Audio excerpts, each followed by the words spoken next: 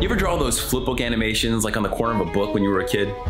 They're basically previs before computers, rough sketches of motion that hinted at something bigger. And it got me wondering, could I bring those animations to life using the tools I already have? I'm gonna set three rules for myself. First rule is I want it to be stylistic. I'm thinking something like Guy Ritchie meets 300 meets Sin City. Uh, I can't use any mocap because there's only so much I can do in a spandex suit.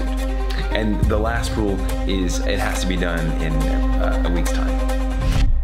First step was to create my Jedi character in Character Creator 4. I then brought in a 3D model of a Stormtrooper and I rigged it up using AccuRIG. So the next step would be to bring everything in iClone for final animation. Oh man, I got stuff on my face. Now, I'm not a Jedi fight choreographer, and this whole project could have taken a very long time, but I only gave myself a week to turn this entire project around from modeling to texturing to animating to final render. Fortunately, iClone 8 features a plugin called AccuPOSE. Think of it as like an AI powered posing assistant with themes like daily life and combat. The magic of this plugin is that it allows you to customize your pose and animate between poses without breaking the overall structure of your character. I was able to animate my hero and about 15 stormtroopers all in about a day. Once I was happy with my animation, I brought all my FBX files into Cinema 4D for texturing and final render. So after a little bit of compositing and some sound effects, some sleight of hand, this is what we end up with.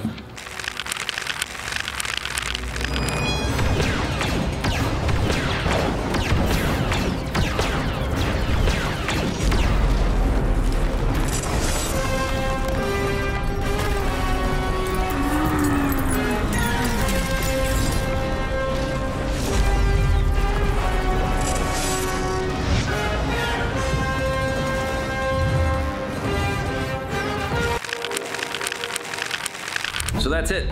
Little uh, flipbook previs to stylized Star Wars Warner. I hope it was informative, entertaining, and remember, these are not the droids you're looking for.